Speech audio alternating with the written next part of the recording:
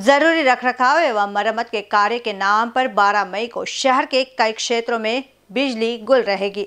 महावितरण ने यह ऐलान करते हुए नागरिकों से सहयोग की अपील की है।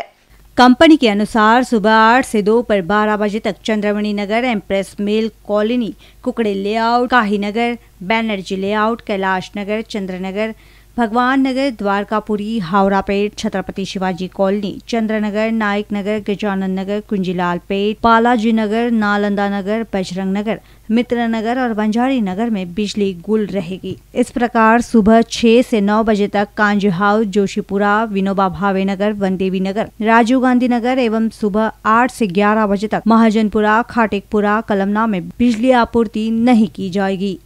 कैमरा पर्सन राजकुमार मोड़ के साथ अभिषेक पांसे की रिपोर्ट बीसीएन न्यूज़ नागपुर।